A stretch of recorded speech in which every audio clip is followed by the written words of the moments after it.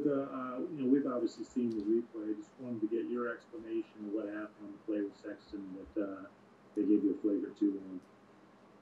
Uh, I don't know. Like uh, after I saw the video, I knew I hit him, but it wasn't nothing uh, on purpose. Uh, I think that kind of stuff happens uh, a lot in the games, you know. But I don't know. That's my explanation. It obviously wasn't wasn't on purpose, you know. Just two guys fighting for a rebound, I guess.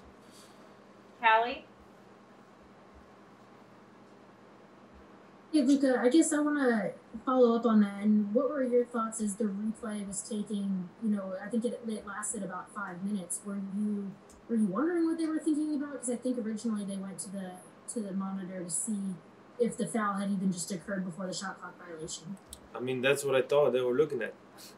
I, I, would, I was really surprised when they called the flagrant two. I, I didn't know at all.